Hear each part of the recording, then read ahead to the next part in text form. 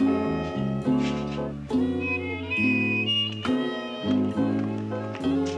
not on my corner, honey. Down by the bus stop. I'm working this corner. Uh, this is my part of the show that's called Redd's Corner. See that sign? Redd Drive and Foxx Avenue. Clever, huh? I thought of that myself. What I get to do every week is to bring out some of my dear old friends and great talents. The man I'm about to introduce is neither a friend or a great talent. I'm only kidding. Uh, this is Slappy White's new album. I guess you're wondering why there's no picture on the cover. You see, I'm the producer of Slappy's new album, and I want to see to it that it sells before I spend any more money on the cover. so here's Slappy White doing a few things from his new album. Ladies and gentlemen, one of the funniest men I know, my former partner, the great Slappy White.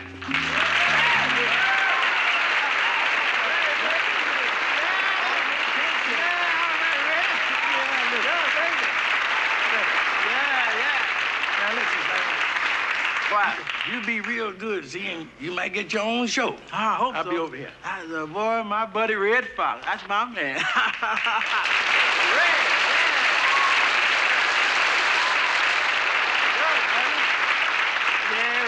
Been buzzing along. He gave me this watch. Look at that shark-proof, dust-proof, self-winding, anti-magnetic, and the damn thing caught on fire. wait, wait, wait. Let me light this cigarette. See, I don't smoke ordinary. I just smoke the time I act. See, when I smoke a regular, I know I've been on, say, 18 minutes. I smoke a king size, I know I've been on for 36 minutes. Got a hold of one in Mexico one time. I was on for two days.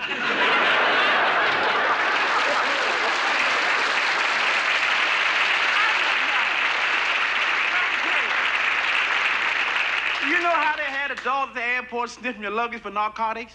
Old dog sniffed my bag and sit down and wrote two hit tunes for Gladys Knight.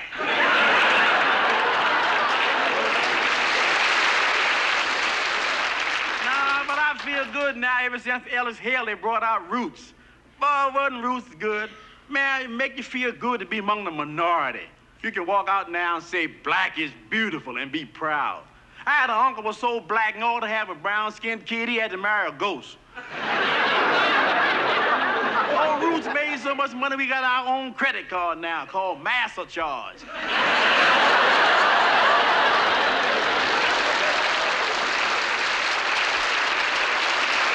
A lady said to me, she said, hey, Slappy, I didn't see you too much on Sanford and Son. Well, see, I made enough money to move to a better neighborhood. my next door neighbor is Spanish. First day I moved in, he come rapping on my door. I opened my door, he said, come move star stay. I said, yeah, I came to stay.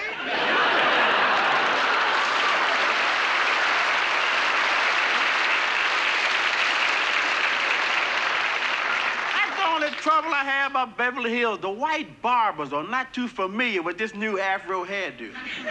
I go in the barber shop, I jumped in the chair. I said, Angelo, I want the afro look. And I fell asleep. And when I woke up, I had a bone in my nose.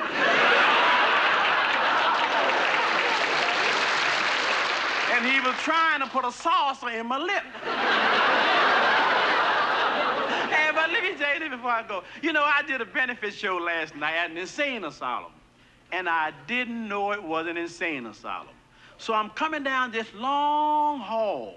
I see a guy hanging from the ceiling, and another guy was mopping the floor.